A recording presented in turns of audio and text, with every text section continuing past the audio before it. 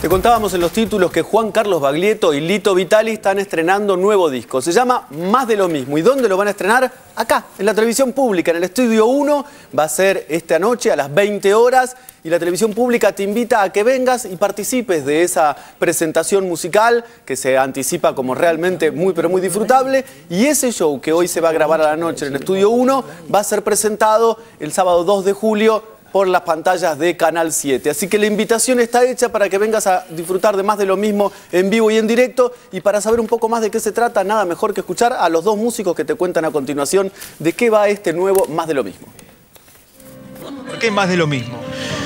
Porque es más de lo mismo. Lo que pasa es que está buenísimo que sea más de lo mismo, así lo sentimos nosotros. ¿no? Empezamos a, ensayar y para esta nueva etapa y, este, y empezamos a ver que lo que nos sucede juntos es parecido a lo que nos sucedía siempre con la, con la potencia del, reencuentro. Y este, las, músicas nuevas que agregamos tienen un formato y un espíritu similar al de siempre. Entonces dijimos, está bueno que tenga, que no, querer hacerse el raro y cambiar por cambiar. Que, este... no, que, no, todo lo que ya haya sucedido está mal, digamos, ¿no? Si no, con ese criterio debiéramos descartar a los viejos. Bueno, cosa que muchas veces sucede, pero este eh, nos venimos a plantear una visión, una prolongación de lo que dejamos reposando 10 años atrás.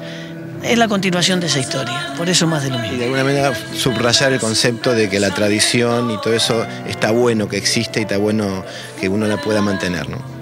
¿Realmente entonces está basado en la, música popular justamente? Sí, música popular argentina de tango, y de folclore, algunas este, músicas compuestas por rosarinos eh, que tienen que ver con... En esencia tienen mucho que ver con el tango y el folclore también, ¿no? Con, un, con una visión particular, pero, pero, pero con eso, con música argentina de raíz folclórica en general que se va a poder eh, apreciar en vivo este viernes eh, a las 20 y también posteriormente el sábado 2 de julio a las 19 por la TV Pública. Exacto, el viernes lo grabamos aquí en el Estudio 1, los esperamos eh, para que puedan presenciar y se emite el, el sábado 3.